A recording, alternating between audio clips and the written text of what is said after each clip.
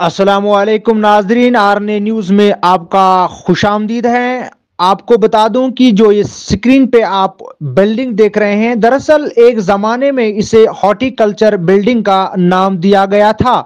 ये horticulture building Kreeri tehsil office के बिल्कुल नज़दीक है। अगरचे हमारे नुमाइंदे वकार मंजूर ने इस बिल्डिंग का जायज़ा लिया और इस बिल्डिंग के अंदर कई सारे महकमों के बैनर्स भी नज़र आए हैं, जिसमें महकमा वेटनरी का भी एक बैनर देखा गया है।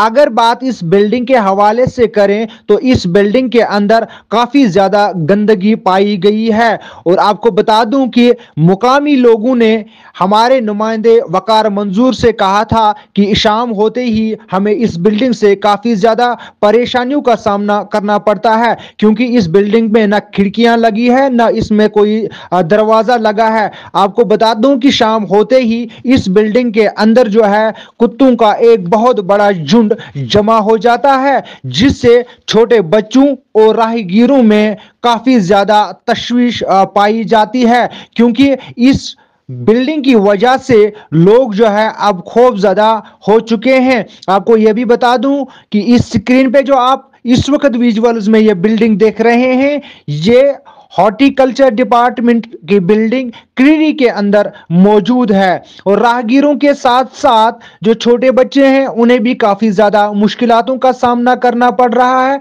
क्योंकि शाम होते ही हमने ये वाजिया किया है कि शाम होते ही इस बिल्डिंग के अंदर जो है, काफ़ी ज़्यादा कुत्तों का एक झुंड जो है, वो पाया जाता है, जिसकी वजह से लोगों के जान माल को खतरा हो सकता है। एडमिनिस्ट्रेशन से मुदाखलत की अपील।